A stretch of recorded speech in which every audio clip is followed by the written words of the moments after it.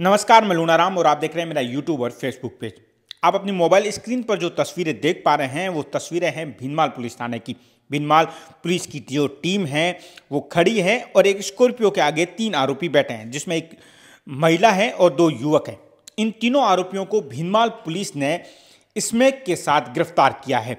28 ग्राम अवैध मादक पदार्थ स्मैक के साथ इन तीनों को गिरफ़्तार किया है, जिसमें दो युवक, जिसका नाम है माधाराम पुत्र धनाराम जाति देवासी, उम्र चौंतीस साल, जो गजीपुरा पुलिस थाना भिनमाल का। और दूसरा आरोपी है बेचरा राम, उफ, महेश कुमार, जो देवासी हैं, जो गजीपुरा का है, भीनमाल थाना क्षेत्र का। इन दो युवकों को गिरफ़्तार किया। इसके साथ ही एक जो महिला है ज्योत्ना देवी पत्नी बेसरा राम उफ, महेश, जो साथ में आरोपी है बेसरा राम, उसकी पत्नी ज्योत्ना देवी को भी पुलिस ने गिरफ़्तार किया है।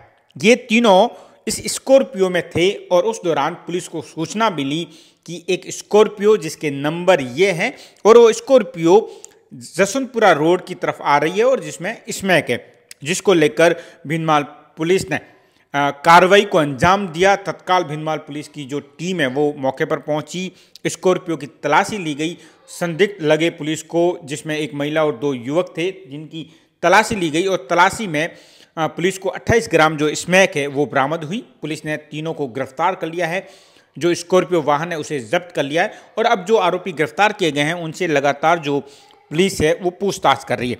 लेकिन सबसे महत्वपूर्ण बात यह है कि स्मैक की जो तस्करी है, वो बढ़ रही है ज़िले में।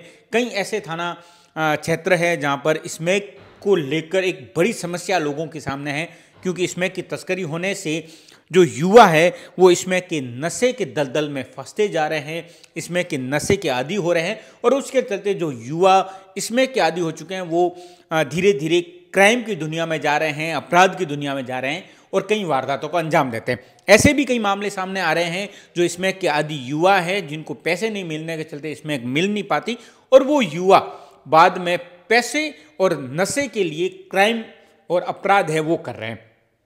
ऐसे में हम सबको आगे आकर क्योंकि पुलिस तो लगातार कार्रवाई कर ही रही है जहाँ पर भी आपको लगे कि इसमें की तस्करी हो रही है यहाँ पर इसमें की तस्करी होते आपको दिखती है या इसके साथ ही आपको लगे कि आ, कोई युवक या कोई व्यक्ति है जो इसमें का नशा कर रहा है तो तत्काल आप पुलिस को सूचना दें ताकि वो कार्रवाई हो सके और जो इसमें का दलदल लगातार फैलता जा रहा है, इसमें कि तस्करी के चलते लगातार जो युवा है, वो इस नशे में फंसते जा रहे हैं, वो आखिर रुके, पुलिस एक बड़ा एक्शन ले सके। उसके साथ साथ में जो समाज है, जो आम जन है, उनमें भी जागरूकता है उसको लेकर हम सबको आगे आना होगा और हम सबको आगे आने के साथ ही जागरूकता लानी होगी। तो इसमें के तस्कर हैं, सप्लायर हैं बड़े बड़े जो सप्लायर हैं, वहाँ तक पुलिस को पहुँचना होगा ताकि ये इसमें सप्लायर का जो बड़ा नेटवर्क है, वो पुलिस तोड़ सके।